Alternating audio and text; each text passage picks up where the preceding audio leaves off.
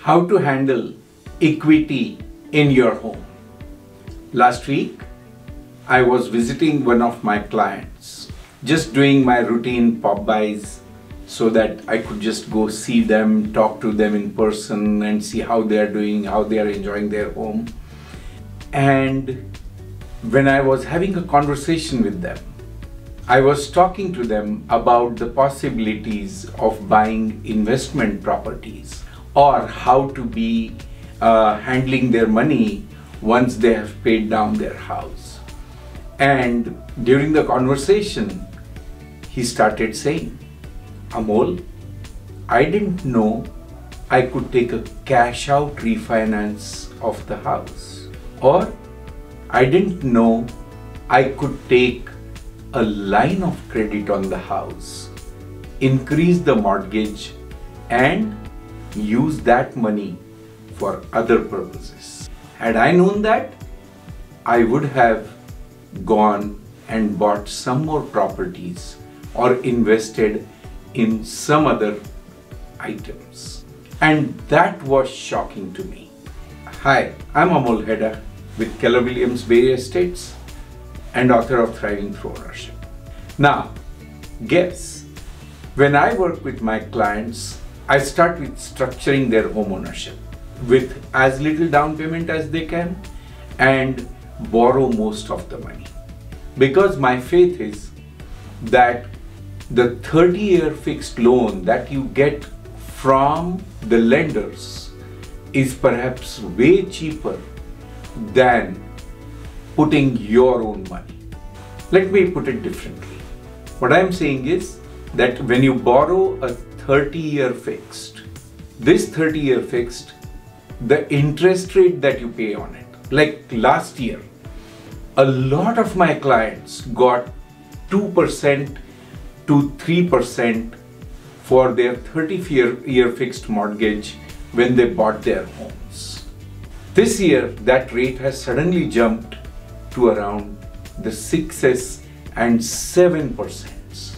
Now, this 6 or 7, if you get it for an auto loan, it's even higher.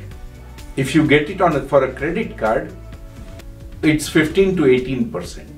So if you look at the interest rate that you pay when you are buying a home, the mortgage towards buying a home, that's the lowest interest rate. Not just that, the S&P long term is six and a half percent return. So if you got your home mortgage last year at that less than 3% interest rate, you would be able to go and even put it in the S&P and you would get six and a half percent. Now, so there are two ways of thinking. That's the cheapest source of money, borrowing for your home. And number two, that cheap source of money when you borrow, but if you invest that into something else, that does even 1% better. Guess, here in the Bay Area, a typical single family home is about $2 million. So, most people typically put about $400,000 as down payment and borrow $1.6 million. Now just imagine you have 1.6 million in your bank or the entire 2 million and you're trying to buy full cash. So every penny that you pay to buy the house is from your own bank accounts. How much interest are you saving? Say in today's market, about 5 to 6%. In last year's market, that would have been at the most 3, 2 to 3%. Now, don't forget that you are cutting this $1.6 million into 360 pieces and giving it back to the lender in small payments along with the interest. That those two are the services. One, giving you the money for 30 long years, and two, taking the money back from you in 360 small installments. Remember, there is a cost to that.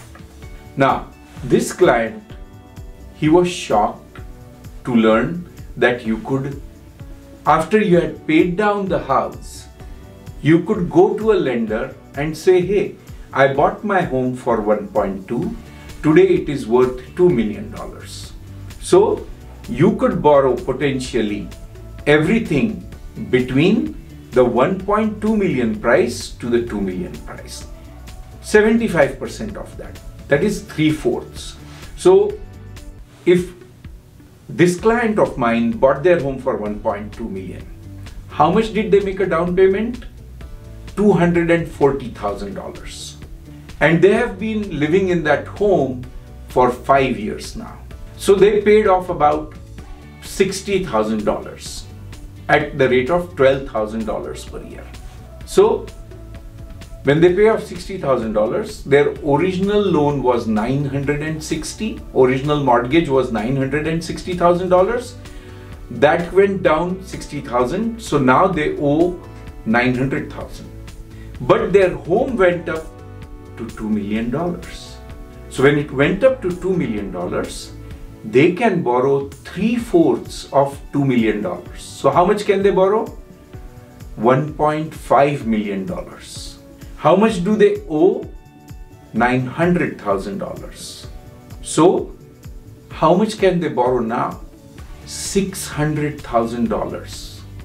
Is that a small amount that you can access from the appreciation and the paydown that you have achieved of the home?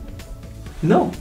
So that access to money, a lot of people are completely unaware of or they don't realize they can do this. Because if you can better the return on what this borrowed money you what you pay for this borrowed money and pocket that income that you make by investing this money wisely, you are going to be in a much better place.